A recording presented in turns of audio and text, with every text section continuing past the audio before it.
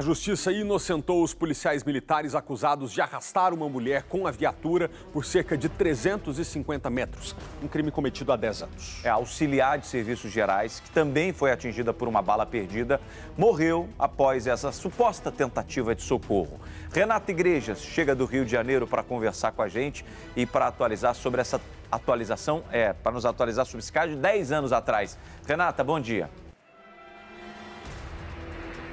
Exatamente, amigos. Bom dia a vocês. Bom dia a todo mundo ligado aqui com a gente ao vivo no Primeiro Impacto. Esse caso chocou todo o Brasil há 10 anos e agora, então, esses seis policiais militares envolvidos foram absolvidos pela Justiça. São eles o capitão Rodrigo Medeiros Boaventura, que comandava a equipe naquela operação, e o sargento Zaqueu de Jesus Pereira Bueno, além dos subtenentes Aldir Serrano Machado e Rodinei Miguel Arcanjo, que também estavam na operação, além do sargento Alexandro da Silva Alves e do cabo Gustavo Ribeiro Meirelles. Eles dois, a, o sargento e o cabo, eles foram responsáveis ali pela remoção do corpo da Cláudia dentro da viatura da Polícia Militar. Em 2014, a Cláudia Silva Ferreira ela foi baleada durante uma operação policial no Morro da Congonha, em Madureira, zona norte do Rio de Janeiro.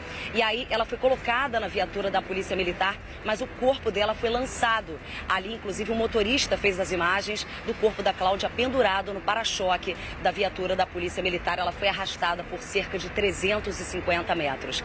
Na decisão, o juiz Alexandre Abraão Dias Teixeira, da terceira vara criminal, destacou o seguinte: disse que quando Cláudia foi baleada, os policiais militares trocavam tiros com os traficantes, os agentes agiram em legítima defesa.